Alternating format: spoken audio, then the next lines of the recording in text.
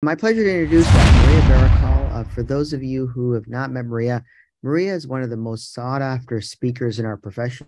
She's given over, I think, 600 lectures around the world. She was kind enough to come to Wills recently. She's won multiple awards, including the Founders Awards from ASRS, and she's one of the most talented surgeons I've ever seen. And she'll be sharing some of her insights into minimal membranectomies on the management of diabetic TRDs. Welcome, Maria. Thank you so much, Sunir. It is a pleasure for me to be here. Uh, I'm going to talk to you about uh, this technique that I that I came up with. Are you seeing my screen? Okay. Okay, so traction retinal detachments really uh, affect many of the diabetic patients. 40% of all vitrectomies in diabetic eyes are for TRDs. And traction and rhegmatogenous detachments account for 20% of all vitrectomies. Um, we know that traction and retinal, uh, tractional retinal detachments are more common and uh, severe in younger diabetics. And it's because vitreous detachment is protective. It is protective not only for progression of retinopathy, but it is really the mechanism by which traction retinal detachments occur. So most of the people that are affected by this tend to be younger, unfortunately. Um, we all know that the goals of vitrectomy for traction retinal detachment is to remove media opacities and remove anterior posterior and tangential traction. But despite all the advancements that we've had in vitrectomy, we still know that a large proportion of eyes experience visual loss with vitrectomy and anatomic failure. And iatrogenic breaks occur in between 29 and 37 uh, percent of all eyes that undergo vitrectomy for traction retinal detachment. And that gives you very poor prognosis. Uh, in monocular patients, it's even more challenging. I'm often, you know, I see a monocular patient, his only eye has a traction retinal detachment. I know it's going to get worse. You know, the patient uh, had a bad response in the other eye, and those eyes do badly. Uh, we know that 52% of eyes uh, that had had a, that have a blind fellow eye will have decreased vision with vitrectomy, and 13% with and will end up NLP. And when we looked at uh, the fellow eye study, uh, once an eye requires surgery, 38% will require surgery in the other eye within 1.6 years. And Latinos, you know, I uh, we know that Hispanics have actually have a higher incidence and more severe uh, diabetic retinopathy, higher incidence of diabetes. Uh, I practice in Puerto Rico, and uh, they have three times more visual impairment in the US than non Hispanics. And uh, vitrectomy for TRD from the LALA studies, 40% had worse visual acuity post op than pre op. And the mean post op vitrectomy visual acuity was hand motions. Uh, so you know we know that these eyes uh, do poorly. So how how did we did I come up with this? Well, this is a patient uh, of mine. I had done the other eye. The other eye had a very similar uh, traction detachment with very massive uh, fibrous tissue. He was a 60 year old heavy smoker. I operated the eye twice. It ended up NLP. And the second eye looked very similar. It's this eye here. And I had been following him for 11 years, and the vision kept getting worse from 2070 to 2400 because of this fibrous tissue that kept forming. I, from the OCT, I knew uh, that the fovea was attached uh, in the center, even though it looked, you know, fairly ischemic. But I kept avoiding. He wanted surgery, and I said, "Well, let's see you in three months." You know, because I really didn't want to go into this eye because I knew, you know, what had happened to the other eye. So I thought about what I could do. So I said, maybe I, this is the eye, maybe I can just clear the center because I knew the vision had gotten much worse because of this fibrous tissue. I couldn't really open this except with diathermy. I tried with everything. It was very taut.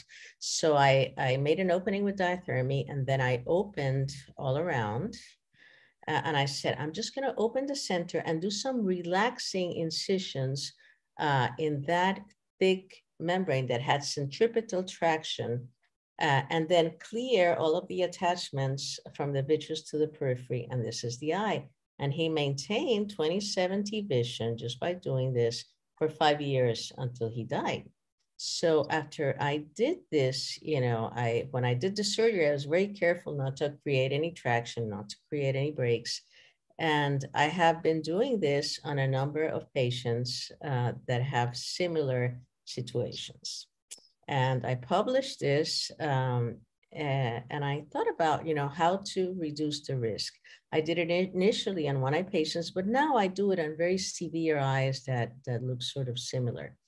And uh, uh, included nine eyes, seven were male, two female. The average age was 58. Uh, duration of retinopathy of, of diabetes, diabetes 24 years. And I followed them for a mean of 4.5 years. And uh, basically the surgical technique is I first, I did uh, them in 27 and 25. Uh, four of the eyes had combined phaco IOL because uh, there was significant lens opacities. And, and basically I used high-speed cutters. I removed all of the attachments of the vitreous to these membranes wherever they were. And then I opened the very thick hyaloid and not only did I free the center, but I did these radial incisions, which are really, really important because you don't want that centripetal traction to continue progressing. And I did not leave tamponade. I added laser in areas of attached retina uh, where it was necessary and I'll show you more cases. You know, the OCT is really important because this eye may not look that bad, but obviously it had, uh, the macula was detached, the visual acuity was 2100 and the post-op picture is on the right, it's 2030. Uh, this is another eye, uh, which 45 year old at 2200, I could see by the OCT that the macula was detached, macula was attached afterwards and the center was free. And here you can you can see the surgery and they all have in common you know this very you know thick fibrous tissue just going through through everything basically a very thickened hyaloid so this one i was able to open it just with the cutter uh, instead of having to use the diathermy like in the first one and then i'm just opening it all around and and you can see as we do this how how much traction is there, particularly when we do the relaxing incisions here, because you see how the tissue all falls back, uh, pulls back towards e each other. I just do relaxing wherever I feel it's completely safe to do that. So because I really don't want to create an iatrogenic break, this was, you know, the best eye of this patient who was a musician, and, and he has maintained really good vision uh, for a long time. Uh, this is another eye, uh, monocular visual acuity 2400. From the OCT, I could see there were traction areas. I'm doing it 27. And, and again, the same thing. I'm just removing all the, uh, the hyaloid in the periphery, all of the attachments throughout. Then uh, oftentimes, sometimes I start, you know, from the inside out. This was a more complex patient because it was not only the very taut, big hyaloid, it also had some membranes. So I'm just clearing all that, doing the relaxing uh, incisions. Uh, I do not have intraoperative OCT, which would have been nice in, in this case, but I'm just going around uh, freeing, you know, wherever I see that there is no um, no means of me doing breaks. So I'm just doing those relaxings around and there's still membranes there.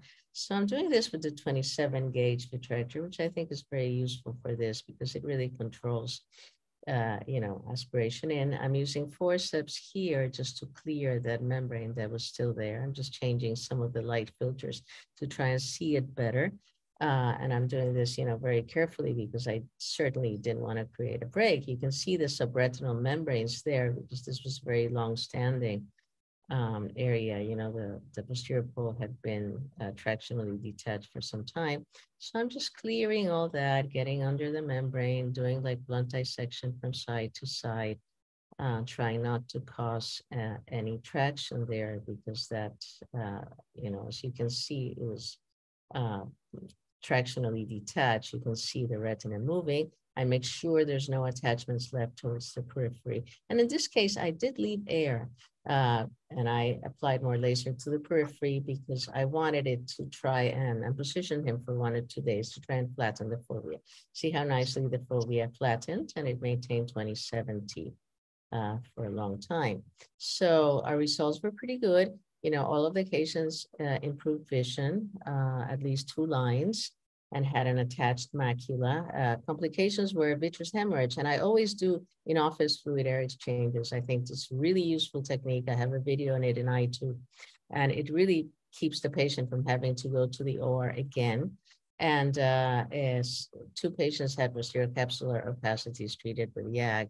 So I think that doing this technique in really high risk eyes is something that will keep you from losing eyes that in the past I used to lose by trying to be too aggressive and remove all of the memories. We really don't need to do that. We have to think about what we want to accomplish in each case. I think the OCT is priceless for that, to really know the status of the fovea. And, and you know, most of the patient's vision really is the fovea. and uh, and uh, so in summary, this minimal membranectomy to relieve traction should be considered in high-risk eyes. And the key to is it remove all of the vitreous attachments to the membranes and do radial uh, incisions in the membrane to relieve circumferential traction. So thank you so much for having me uh, here. It is an honor.